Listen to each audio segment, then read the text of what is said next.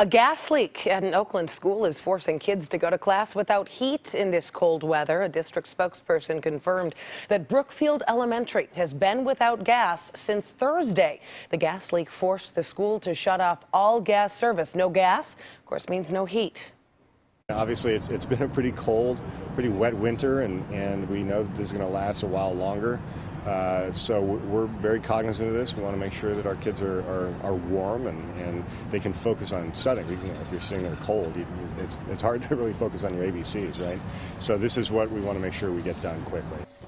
The district gave the school 18 space heaters as a temporary fix, but there isn't any hot food because neither the stove nor the oven are working. Repairs will take three to four days, and with the rain coming up, well, that work requires good weather, so that could be a problem.